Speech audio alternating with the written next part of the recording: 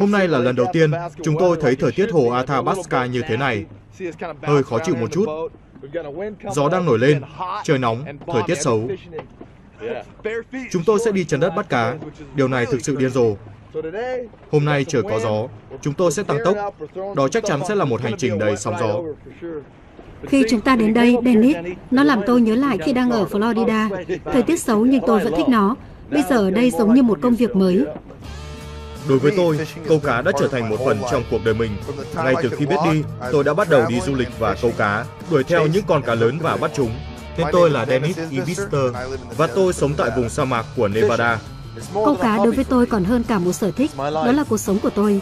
Được dẫn đầu một đoàn thám hiểm đi câu cá, đặt chân đến những vùng đất hẻo lánh của thế giới, thực sự là những cơ hội tuyệt vời không dễ gì mà có được. Tên tôi là Alan Broderick, tôi đến từ Ireland. Đây là chương trình Câu cá nơi hoang dã.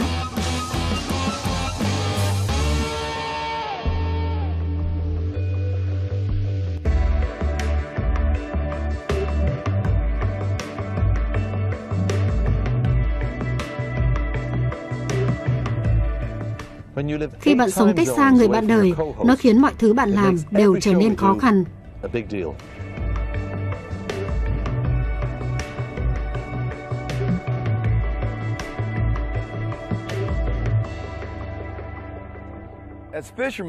Là một người câu cá, bạn cố gắng đưa ra những dự đoán sát nhất về thời tiết, nơi cá xuất hiện. Hôm nay, mặt nước hồ sẫm màu, dự báo cho những mẻ cá lớn.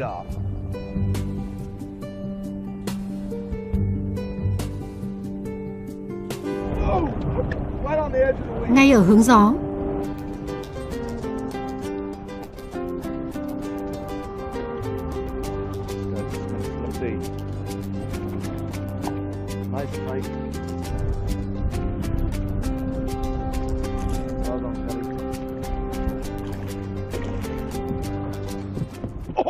Đúng vậy đó, quá vui. đó là một con cá chó nhỏ.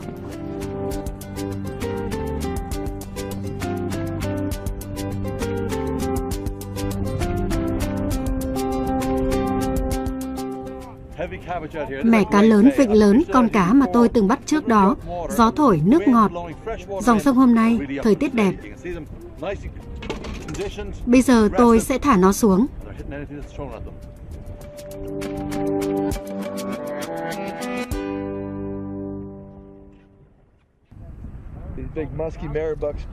Giật cần lên. Rong biển đang nổi trên mặt nước. Có thể thấy mặt nước nông như thế nào. Chúng tôi đang lấy những thứ này dọc trên mặt nước nhanh nhất có thể và làm mặt nước động. Điều này giúp mang đến những con cá lớn. Tôi thực sự ấn tượng với chất lượng và môi trường sống của cá ở đây. Cá chó, cá hồi hồ, cá vược và tất nhiên một lượng cá đến từ đàn cá của trạm cứu chữa. Tất cả nhân viên đều rất cẩn thận khi chăm sóc cá.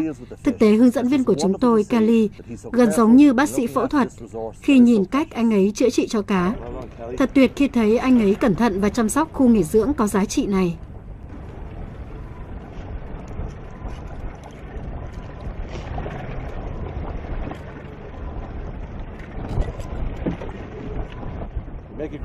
Anh sẽ là một nha sĩ giỏi đấy, Kelly.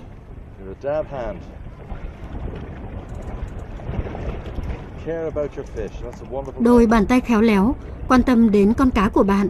Đó là một điều tuyệt vời.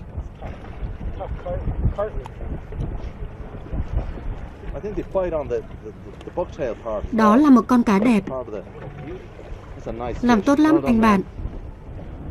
Kelly, nơi này đã có con cá nào nặng 9 kg trong vài năm gần đây chưa? Ồ có, hai năm trước có cá chó ở đây. Hai nhân viên có kinh nghiệm nhất đã bắt được một con cá chó có xương hình chữ T. Chúng nặng đến 13,5 kg. Đó là con cá chó nặng 3 cân rưỡi đến 4 cân rưỡi, có xương hình chữ T. Nghĩa là một con cá có xương hình chữ T bắt chéo ư? Đúng vậy, và còn một con cá chó khác nhỏ hơn. Kelly, hướng dẫn viên của chúng tôi, rất tuyệt vời. Làm người đồng hành trên tàu, rất vui, rất giỏi đối phó với những con cá. Anh ấy hơi dè dặt giống tôi, và anh ấy rất hòa đồng. Ngồi yên, thuyền của tôi. Thả mồi đi, thả mồi ngay.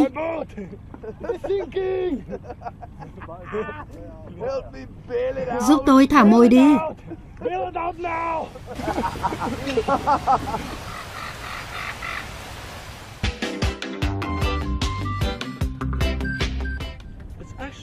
Nó thực sự rất đẹp. Ngon quá. Chúng tôi biết là sẽ có một ngày thú vị trước mắt vì dự báo thời tiết cho biết vận tốc gió sẽ không mạnh khi ra đến ngoài hồ lớn.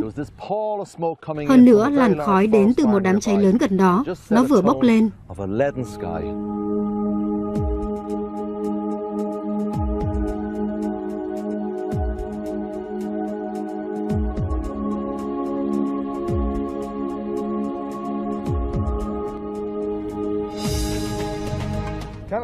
Ở đây tối quá. Bắt cá bây giờ an toàn hơn. Thực ra nó tốt hơn một chút. Ồ, tốt hơn nhiều. Con cá to hơn nhiều. Hãy nhìn xem này.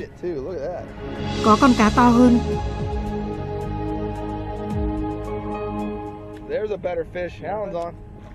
Chúng xếp thành hàng.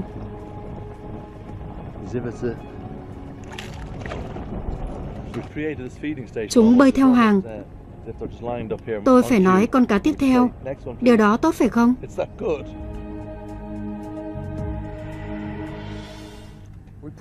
Chúng tôi dùng một cách câu mới hôm nay. Cá bắt đầu ngoi lên khỏi đáy biển Đông, tới khu vực có dòng biển cao hơn một chút. Chúng tôi thả mồi câu ngay trên mặt nước. 6,4